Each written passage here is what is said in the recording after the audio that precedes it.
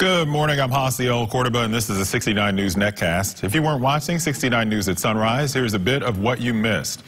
Friends and former teachers in the Lehigh Valley are remembering a victim of the Florida school shooting. Chris Hixon graduated from Pleasant Valley High School back in 1986 before joining the Navy and eventually ending up in Florida. Those who knew Chris say he made an impact on everyone he came in contact with, and they know he will continue to impact students for years to come. A townhouse in Northampton County was heavily damaged by fire. It broke out around 9:15 last night in the 3500 block of Penfield Way. No one was hurt. Crews were at the scene until around 2:15 this morning. No word yet on a cause. Pennsylvania Governor Tom Wolf has submitted his own map to propose the redistricting of the state's congressional districts. His map is the seventh submission after Democratic voters successfully sued to have the current congressional map thrown out, saying it favored Republicans.